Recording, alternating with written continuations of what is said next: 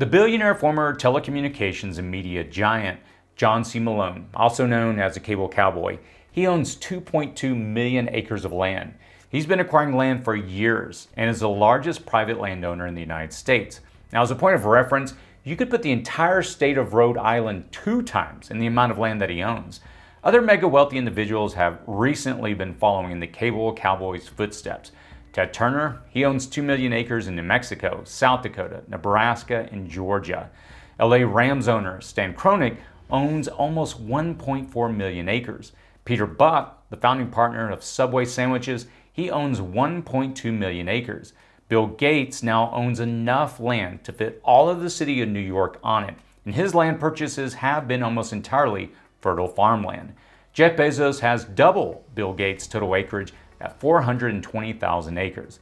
The list, it goes on and on with the top 25 landowners. And by the way, Gates is not even in that list, accounting for a whopping 23,451,682 acres. That's roughly the same area as all of Vermont, New Hampshire, New Jersey, Connecticut, Delaware, and Rhode Island combined. And that's just the top 25 owners. So why are the ultra wealthy continuing to snap up farmland? And even more importantly, how may this soon impact you? We'll take a deep dive look at this phenomenon and we'll try to answer these questions. So let's jump in. Please consider subscribing to our newsletter by clicking on the link in the description and comment section below. If you enjoy this video, please subscribe and click the like button to help the channel grow. The value of land. American prosperity has primarily been built on a dual foundation of cheap land and labor. There have always been owners of large swaths of American land ever since English monarchs awarded land grants or gifts of land to individuals in perpetuity. Throughout all history, worldwide, ownership of land was equal to power. While your harvest of wheat or corn may succumb to an early frost, the land remains stable year after year. It was, and always will be, a commodity. There's only so much of it, and just so much of that which is inhabitable or usable. Land has intrinsic value, and every year that goes by, people require more and more of it to meet population demands. The majority of the land being purchased, held, and passed down from generation to generation serves some other function as well. Much of it is either used for timber, ranching, grazing, mining, or farming. Much of Ted Turner's land, for example, is used as grazing land for over 50,000 head of buffalo, which is also the largest private buffalo herd in the world. But these businesses are on top of that ownership of the land. Forests, ranches, and farmland all have one thing in common, and that is water. You might also want to take a look at my other video on why the rich are buying up water rights. I'll post a link to this video in the cards above. Despite the resources that can be brought to bear on the land, the real value is holding the land itself. Simply by holding it as others seek to acquire it, the value of it goes up. In a world where economics can recede, even fail, currencies collapse, wars flare up, political disputes boil over, and pestilence can overwhelm a population, the land is still retaining its value. The landowner is maintaining their stature. The land is not correlated with the stock market or any other major asset class. The stock market can plummet a thousand points, but the land will only steadily increase in value. It has done so with few exceptions for at least the last three decades. Still, you won't see Bill Gates or Jeff Bezos or Ted Turner out on their land with a hoe and a bag of seeds. They aren't farmers. 30% of these large farmlands are leased to real farmers, which squeeze their profit margins tighter. They put in all the sweat and shoulder all the risk, but it's the landlord who is the one that's guaranteed a profit. Whether the land is cultivated for its resources, lease, or just held, it's a guaranteed return on investment. With the average farmland acre price hovering around $3,160, it's easy for the ultra rich to sock money away by purchasing fertile acreage. The price a decade ago was around 2,000 an acre. That rate of return on just holding the land is higher than most returns on bonds, stocks, savings accounts, or even precious metals. If the owner can put a water pumping station on the land, a solar farm, a wind farm, or just lease it to someone else, they're creating multiple revenue streams for themselves. It's usually at this point that some are inclined to decry foreign investors as the problem, but those folks aren't seeing the bigger picture. Currently, 30 million acres of America farmland are owned by foreign investors. That's just over 2% of all available American farmland. It's not significant, But it's not insignificant either. Those 30 million acres would equate to roughly the size of Pennsylvania. For its part, China owns 191,000 acres, a paltry 298 square miles of it. Where foreign nationals are allowed to own real estate, there are often restrictions on where they can buy and how much they can hold. So we need not fear foreign investors as much as we do the mega rich citizens right here. Still, we should be cautious about ceding too much of the United States to the control of foreign investors. The main reasons the ultra rich and investors are buying more and more land is for no other reason than it holds value and increases in value just by holding on to it. No other asset class has such a guaranteed return. If you're sitting on millions, billions, or trillions of dollars and you're looking to get several of the tax breaks and benefits of land ownership, you need not offshore your money in a hidden account somewhere anymore. There's a new land rush right here in America. Many mouths to feed. Snapping up farmland is also a good investment because the population continues to grow. There are more mouths to feed, and there is a limited amount of farmland. Every year, more and more farmland gets repurposed for housing or other purposes. Also, corporate farms make decisions based upon yield and the ability to sell their product. Selling their product to consumers in their own country is not a high priority, and exports and tariffs can be tricky. It is easier for a corporation to take a loss in the write off than to struggle to bring their harvest to market. It's easier for a company to repurpose its soybeans or corn for plastic, corn syrup, fiber, ethanol production, or some other than food option and take the profit than sometimes bringing that product to market. The global population is forecasted to increase to 10 billion in the next 80 years. The World Bank has predicted that the agricultural production will need to increase by almost 70% in the next 30 years to keep pace with demand. Farmland will continue to decrease while demand for food will rise. This is a guaranteed appreciation of one's farmland acreage, and that's why so many investors, from fund managers to the ultra rich, are snapping up as much fertile American soil as their money can buy. What does this mean for you? Your fiscal problems. From a financial perspective, so many ultra rich and fund managers snapping up farmland means that they have very little confidence in the other global asset classes making any significant rate of return in the coming years. Treasury bonds, considered one of the safest investments, are yielding around 2.24%, so they are not even keeping up with inflation over a long period. Many investors largely agree upon that the stock market is, well, overvalued and we're in a housing bubble right now. Inflation is on the rise. Everywhere you look, there are signs of shaky economies, and there is a cause for concern on every horizon. Given all these insecurities, investors turn to the absolute most stable thing they can invest in, and that's land.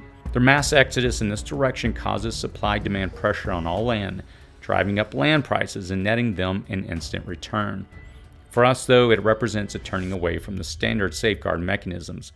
Abandoning the treasury bond or investment in gold or silver will have unknown results because there has never been such an about face for these economic brake pumping mechanisms. The resulting fiscal consequences of so much energy and money put into undeveloped or agricultural land sectors is unknown because we've never been in this situation before.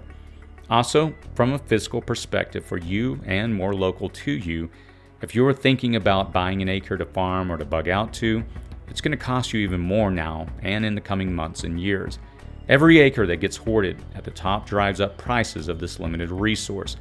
If you live in a predominantly agricultural area, that is to say, that your town is primarily supported by agriculture or the processing of agricultural goods, the decisions are being made by people not vested in the community or fiscal health of your town.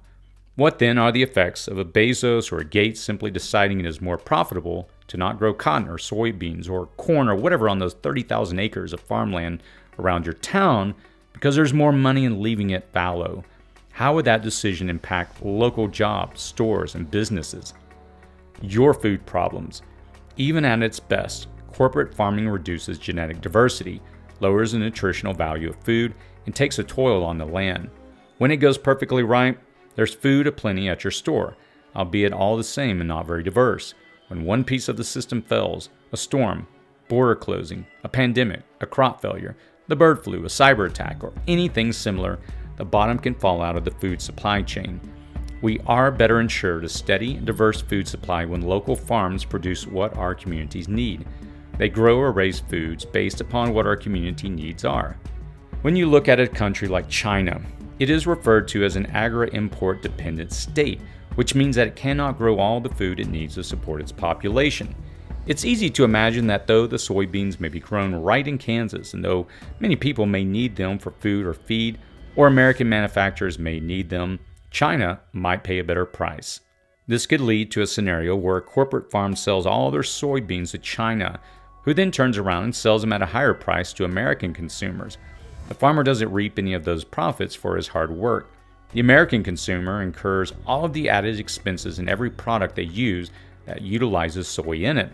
Everything from the soles of shoes to oil, to asphalt sealer, and animal feed. Any complicating factor can wreak havoc on farms when there is consolidation at the top. Sometimes that complicating factor can simply be price gouging to raise prices. For instance, when Italy recently had a combination of early rains, knocking buds off trees, and the threat of an olive fly that forced an early harvest, it lowered yields. Olive oil pressers who had olives ready to press into the liquid olive oil, they didn't rush to press those olives to fill the void. Instead, many just sat on their inventory of olives they had, so the price for oil would go up. They artificially manipulated the market, and olive oil prices soared up 20% on low inventories. Corporations and investors overly in control of the food supply chain, they make decisions about food production based on profits, not your table. These decisions can cause shortages and disruptions in supply and can decimate whole communities. Your water problems. As mentioned earlier, farms, forests, and ranching land all have water resources on them. While I've already addressed the ultra wealthy buying up water and the reasons why in another video worth watching here, again I'll post a link in the cards above, I have to put water resources in here when addressing what this buy up of farmland means to you. While the possible disruptions to your food supply are hard to precisely predict, the water disruptions are easier to identify. As droughts continue and irregular weather patterns continue, water insecurity will become more frequent. If there's a way to monetize and bet on anything, the rich on Wall Street will figure it out. Water is our latest monetization of our natural resources, and it could be an early stage of a more significant takeover. Even if you hold the mineral rights to the water below your property and you're tapped into a well at a decent depth, as aquifer levels are reduced by farming, industrial, or pumping operations in the same area, you would need to drill deeper and deeper to retain access to water. At between 15 and $30 per foot average drilling costs, small time landowners are quickly priced out of their own wells by their wealthier neighbors. As preppers, we know that water is one of the most essential ingredients to our survival. The monetization of any resource can cause long term problems for people. What if one of those billionaires manipulates the market by withholding or restricting the free flow of water? What if one of those banks or investment firms chooses to drive up the price of water or sell off the rights altogether to someone other than your municipality? What happens when a foreign investor holds your water resources? Suffice it to say, there are many complex problems associated with any one person controlling both the land and the water on it. The ultra rich and major global investors are snapping up American farmland at a never before seen pace. Now, it's partially because it is the most stable investment right now, as many asset classes are overpriced, overinflated, or experiencing a bubble. Land and the resources on or under that land in the form of minerals or water are a guaranteed rate of return for many wealthy investors. It would be a mistake to think that they are going to these purchases with the altruistic purposes of feeding the masses or even being a good steward of the land. As history has shown, they'll put profits over people the first chance they can get. And this can jeopardize anything from your economy to your food to your water supply. What do you think? How are you preparing for this recent land grab?